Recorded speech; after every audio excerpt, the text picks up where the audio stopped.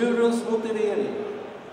Priset som årets inspiratör går till en spelman och ledare som strålar av smittande energi i allt hon tar sig för.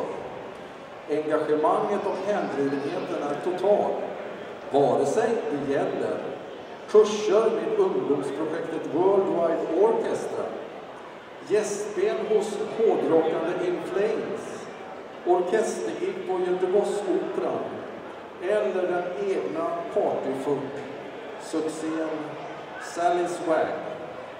En sann kämpe och på många plan inspirerande musikant och aktör i full samklang med tiden, som vi med säkerhet kommer att höra än mer av framöver.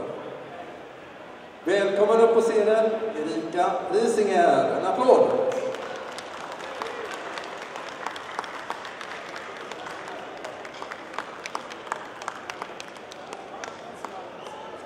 Också.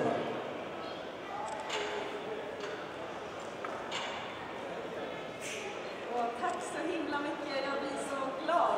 Det här året har jag själv känt mig så fantastiskt inspirerad av alla arrangörer och medmusiker och jag har fått sån otrolig energi och det är väl kanske då man gör så mycket bra.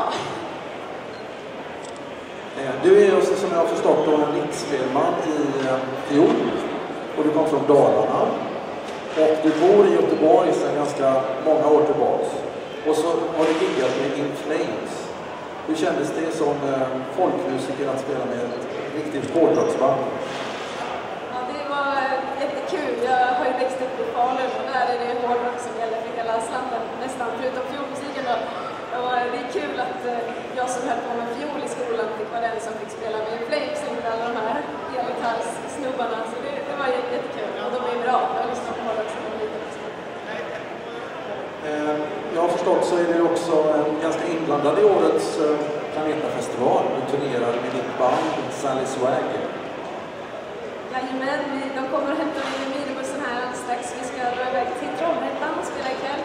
Och sen blir det Sydkoster och Lysekil och på lördag spelar vi på Musikens hus i Göteborg. Då får ni komma, det kommer bli grymt. Sally Swag på lördag på Musikens hus. Yes.